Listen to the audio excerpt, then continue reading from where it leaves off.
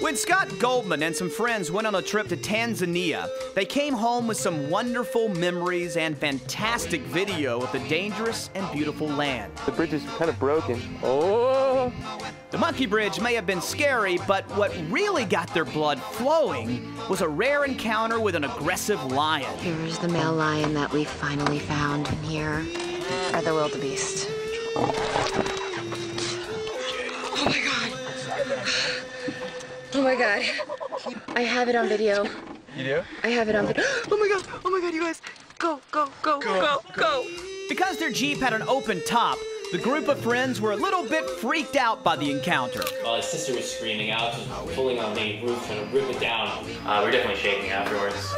And what did the tour guide have to say? He said he had, he'd been a guy for several years and he'd never seen that happen. And apparently it's just because the female that the male lion was with was an he.